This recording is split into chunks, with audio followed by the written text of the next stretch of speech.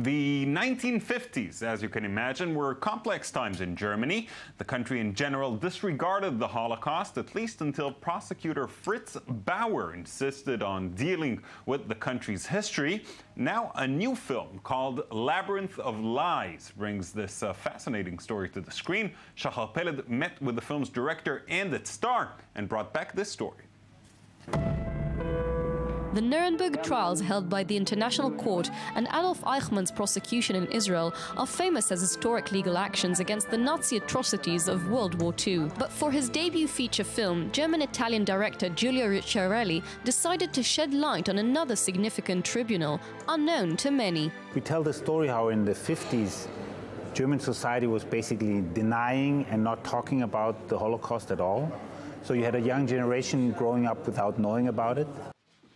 In 1958 Frankfurt, nobody wanted to look back at the time of the Nazi regime. Facing great political and legal resistance, German prosecutor Fritz Bauer initiated an investigation against members of the SS who served in Auschwitz. His first legal approach was to say Auschwitz itself is a murder machine. Anybody who did anything there was part of this machine and was guilty.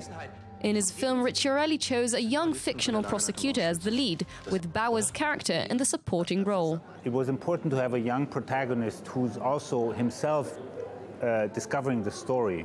And that was just, uh, for the drama, it was very useful to have, to look at the time through his eyes.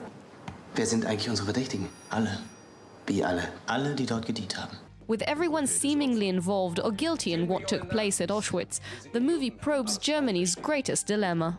Wissen Sie, was Sie da anrichten? Wollen Sie, dass sich jeder junge Mensch in diesem Land fragt, ob sein Vater ein Mörder ist? Ja, genau das will ich. Ich will, dass dieser Lügen und dieses Schweigen endlich aufhören. There's a certain tiredness about the subject. So people say, okay, we know everything about it. And this is something that, I, that changed for me while shooting the movie because now I know that there was, there was a strong danger that this confrontation might have not be happening.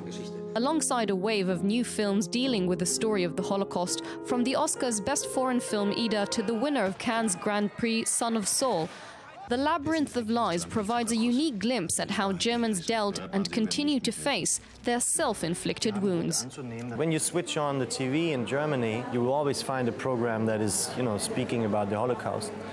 Um, but what we now call coming to terms with, with history took, took us such a long time, and, and, and, and this, is, this is our approach, and this is the approach of, of the story. Bringing it to the Israeli audience was an emotional experience, especially for second and third generation Holocaust survivors. There are so many films about the Holocaust, but uh, this one uh, is more about how Germany is actually reacting to the history of the Holocaust. As he brings this forgotten story into the spotlight, Ricciarelli hopes, much like Bauer ahead of him, to educate and illuminate on crimes of the past. Germans doing a trial on Germans. That was an important thing, and it, but not just for Germany. I think for the whole, for all humanity, was a momentous uh, moment in history.